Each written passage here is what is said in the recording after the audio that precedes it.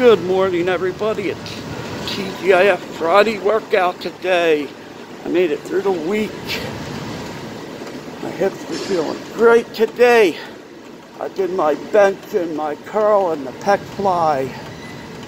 I'm on the bike for 10 minutes. No pain in my hip whatsoever. I mean, here and there when I sleep, of course. But the best it ever felt. This time would heal all wounds.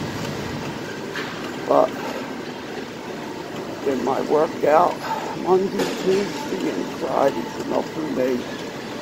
I'm in no pain. I'm not going to push it. So, did my benching about three or four sets with the bench flat instead of on an incline. I did the pec, pectoral deck and curl 50 pounds. And I do the bike for about 10 minutes. So my video takes about that now. Alright, I'll be live tomorrow around noon Eastern Standard Time. Take care and just do it.